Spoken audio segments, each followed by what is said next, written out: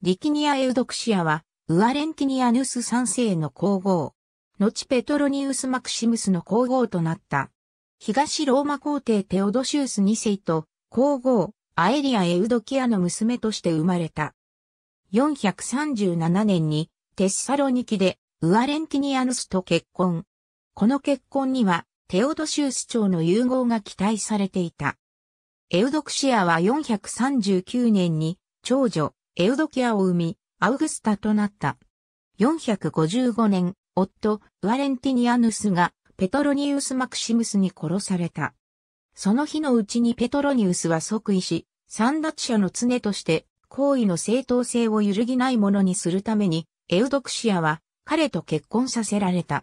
夫の殺害者と結婚したエウドクシアが幸福であるはずがなく、彼女はバンダル族の王、ガイセリックに助けを求めた。王女、エウドキアをガイセリックの息子の一人と結婚させるという条件を取り付けた後、ガイセリックは素早くローマを吸収した。ペトロニウスは逃亡を図ったが失敗し、ローマの群衆に殺された。ローマでバンダル族は略奪を働き、皇后、エウドクシアや王女、エウドキアとプラキディアの三人を含む皇族たちを人質として連れ去った。エウドクシア親子はカルタゴに7年留め置かれ、東ローマ皇帝レオ一世が払った巨額の身代金によりようやく解放された。